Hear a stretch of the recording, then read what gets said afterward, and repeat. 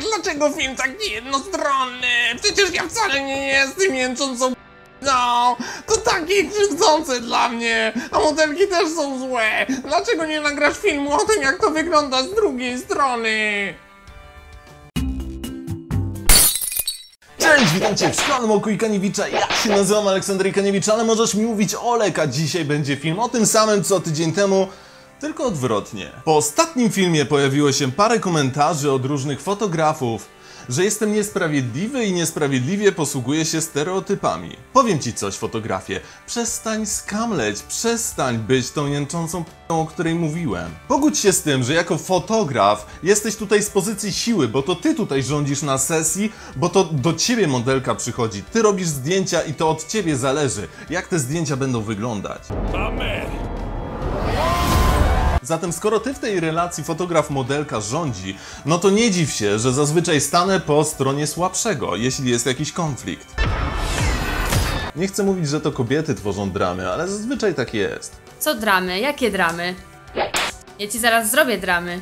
Czekaj, czekaj, zaraz ci wszystko wyjaśnię. Żyjemy w społeczeństwie i z góry są nam narzucone pewne role, które powinniśmy w życiu pełnić. Na szczęście, tak jak wspominałem w poprzednim filmie, fotografowie to zazwyczaj ta grupa tych bardziej wrażliwych mężczyzn i z jednej strony jest to super, bo pozwala nam to tworzyć bardzo ładne obrazki, ale z drugiej strony predysponuje nas do tworzenia różnych dram, a takie dramy, no najczęściej nikomu z zewnątrz nie są potrzebne. I tutaj mówię o tych wszystkich sytuacjach, gdzie mamy na przykład parę, gdzie wchodzi do gry taka bliższa relacja. Z jednej strony zazdrosna laska, z drugiej strony zazdrosny chłopak. Piszą do różnych innych fotografów, innych modelek, że o nie spotykaj się z tym, bo ona jest taka zła, nie spotykaj się z tą, bo to ona jest taka zła. Wiesz co ci powiem? Powiem ci, że najlepiej nie angażować się w nic takiego nigdy, bo to nigdy dobrze nie wychodzi. Zawsze jak chcesz nawet pomóc jednej stronie, jedna strona przekona cię do drugiej, no to tak naprawdę, tak na dobrą sprawę w większości, w zdecydowanej większości przypadków lepiej ich pozostawić, żeby oni zajęli się swoim własnym problemem. I tyle. Ale jeśli jesteś nowa lub nowy na kanale, na dole masz czerwony przycisk zasubskrybuj. Kliknij go, będzie super. Zadałem pytanie na story na Instagramie, ponieważ mam Instagram i serdecznie na niego zapraszam. Oto dlaczego modelki odradzają współpracę z tym czy innym fotografem. No, dostałem tam parę odpowiedzi i przyznam, że najczęściej powtarzało się to, że nie oddają zdjęć albo dobierają się do modelki. Serio, to jest aż tak powszechne. Jeśli fotograf nie oddaje zdjęć, to modelka zwyczajnie straciła czas. I to jest przykre. I teraz zwróćmy uwagę na to, że ja staram się oddawać zawsze chociaż jedno zdjęcie z czystej przyzwoitości, ale tak tłumacząc fotografów, nie zawsze się da. Czasem na przykład wszystkie zdjęcia się prześwietlą, czasem e, zdjęcia zwyczajnie nie wyjdą, bo wyglądają wszystkie źle. Czasem utracisz dane, bo były na przykład zapisane na starej karcie, bądź dysk twardy się spalił. No i trudno, i to się zwyczajnie zdarza, ale najgorsze jest to, kiedy fotograf straci tych zdjęć, bądź wie, że nie odda tych zdjęć, ale trzyma modelkę w niepewności przez długi, długi czas i cały czas tłumaczy, tak, tak, oddam te zdjęcia. I tutaj w takiej sytuacji nie wiem o co chodzi, nie wiem dlaczego próbujesz grać na czas i czym tutaj chcesz, co tutaj chcesz ugrać w ten sposób. Bo to, że tak czy siak nie będzie tych zdjęć, nic nie zmieni, to jest tylko odwlekanie jakiegoś konfliktu, jakiejś nieprzyjemnej sytuacji na później. Zatem miej odwagę po prostu cywilną. Jeśli coś zepsułeś, no to się przyznaj.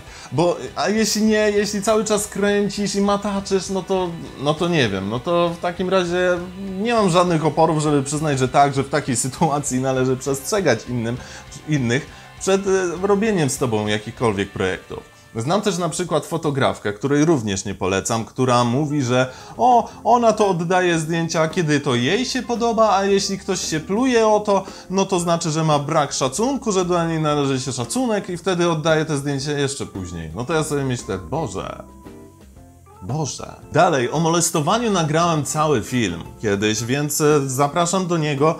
Swoją drogą paru fotografów po tym filmie moim usunęło mnie ze znajomych. Ciekawe dlaczego. Nie wiem, choć się domyślam. Problem jest taki, że jest to nagminne. I wiesz, szlak mnie trafia, jak słyszę, że fotograf, moim zdaniem mierny, ale zdaniem innych dziewczyn, im się podoba, chodzą do niego, mają do tego prawo. Kim ja jestem, żeby oceniać? You know nothing, Jon Snow. She's right, you don't. ale idą do niego i mówią mi potem, że o, byłam u takiego i takiego fotografa i postawiłam, jasno wytyczyłam granice i nie miałam żadnych problemów, że e, od razu mu powiedziałam, że ja tutaj niczego nie chcę, że ja tutaj się zachowywałam w twardy i stanowczy sposób i on mi nic nie zrobił. Ja sobie myślę, Boże, w jakim świecie żyjemy, że doszło do tego, że takie rzeczy uważamy za normalne? Dla mnie normalną sytuacją jest to, że nie muszę w ogóle nikomu mówić i w ogóle nie muszę myśleć o żadnym problemie, że idę na totalnym luzie do fotografa i znaczy ja nie idę, tylko modelki, ale że na przykład modelka przychodzi do mnie i nie musi się martwić, że ja jej zrobię cokolwiek. Okej? To jest sytuacja wyjściowa, która powinna tutaj być jako wzór, a nie coś, że musisz od razu na wejściu powiedzieć, że słuchaj stary, cokolwiek nie zrobisz, nie ulegnę. Co? Po co? Dlaczego? Plus zawsze o takich zachowaniach trzeba mówić i cieszę się, że są grupy dla modelek, które piętnują takich fotografów. Często też fotografowie nie tyle dotykają, co samo w sobie jest straszne, co też dają takie niewybredne uwagi i to też jest złe. Fotografie, wyzbądź się tego. Znaczy, jeśli ty się podobasz modelce, modelka się podoba tobie i chcecie coś razem porobić, no to droga wolna. Po to jesteśmy ludźmi, po to jest, po to Pan Jezus tak stworzył ten świat, żebyśmy robili ze sobą różne rzeczy, które chcemy ze sobą robić.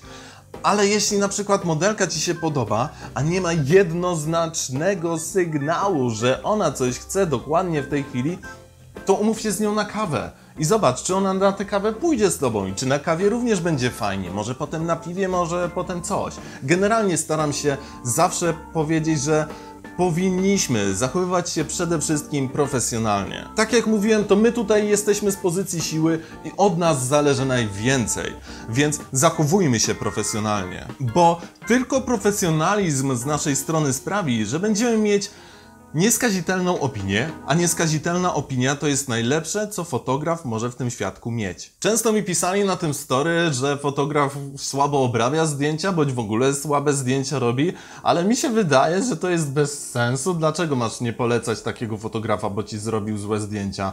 No to po co do niego szłaś? To tak jakbyś zamówiła sobie pana Henia, który ci położy płytki, ale wiesz, że on stawia krzywo i drogo, kładzie w zasadzie. To nie ma sensu.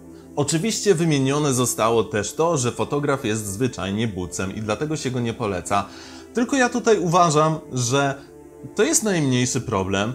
E, Jeśli generalnie ty nie miałaś żadnego flow, żadnej chemii z danym fotografem, no to nie znaczy, że ktoś inny tego nie załapie. Jeśli on ma na przykład jakieś durne poczucie humoru albo coś, które ci nie pasuje, jakiś kiepski gust muzyczny, bądź e, na przykład jest zbyt cichą osobą, a ty lubisz bardziej wygadanych, no to, no to w czym jest problem? Jeśli tylko zachowuje się profesjonalnie, no to nie obsmaruj go w internecie, że o, on tutaj taki cichy na sesji i coś tam. No, to nie ma sensu. Pozwól innym ocenić, czy dany charakter danej osoby im odpowiada. Oczywiście, jeśli tylko jest profesjonalny. A czy zdarza się, że modelki mówią o fotografach jakieś niestworzone rzeczy? Oczywiście, że tak. Ja o sobie słyszałem, że sypiam z modelkami. Podobno mówi to jakaś modelka, której ja nigdy na oczy nie widziałem i nawet nie wiem z jakiego powodu tak mówi. Może jej odmówiłem zdjęć kiedyś albo, albo coś w tym stylu. Grunt, że mam tę nieskazitelną opinię, o której przed chwilą mówiłem, więc e, cokolwiek się na mój temat nie powie, no to generalnie ludzie będą mówić, że o, coś tutaj jest nie tak, bo ten Ikaniewicz generalnie nie robi źle. Więc warto się zastanowić, czy to nie jest jakieś kłamstwo. I dlatego warto pracować na tę opinię. No i na przykład jak wejdziesz na mój profil na Max Models, to zobaczysz jedną negatywną referencję. Jedyna w moim dorobku tak bezbłciowa sesja, ja nie mam sobie nic do zarzucenia. Przygotowana bardzo dobrze do sesji, kilka stylizacji, makijaż, włosy, chęć współpracy.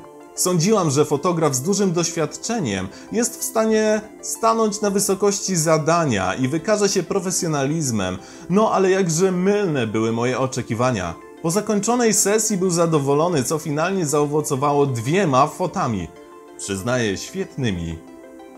Bo jednak się rozmyślił i stwierdził, że nie poczuł tej sesji. No cóż, wszystkim, którzy staną przed obiektywem pana Olka, życzę, by trafili na ten pełen zapału i wizji dzień, bo jak się okazuje, to ruletka.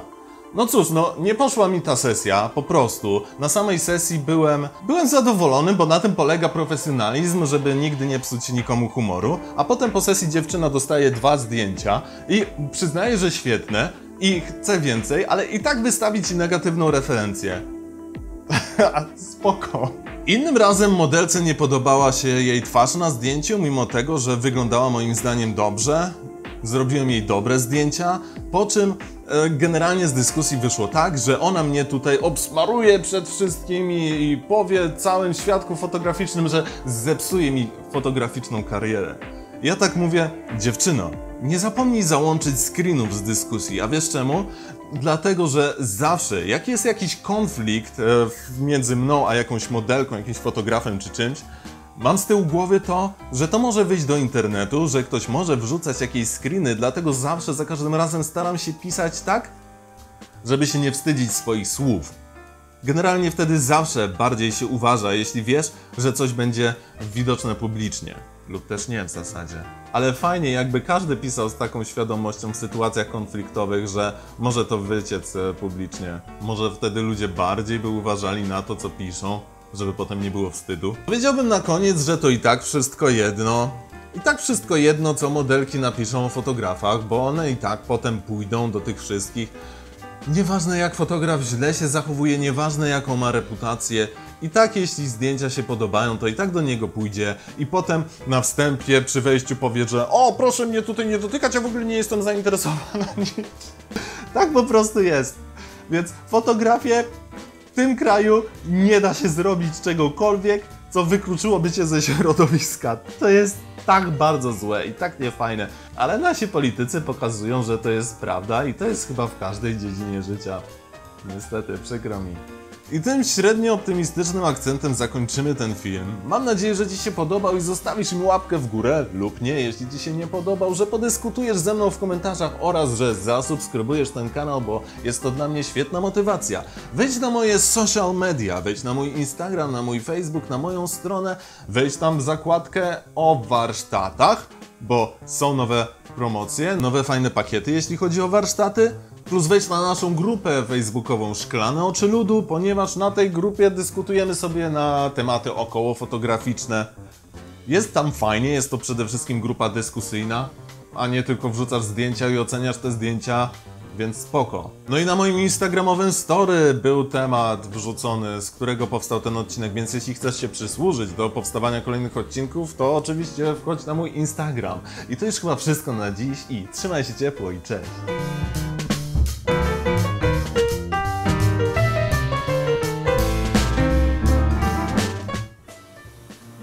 Jesteś. Ale nie możesz mówić, bo musi być nagrany ten plask. A, ty myślałam, że masz jakiś sokowy klap. Okej.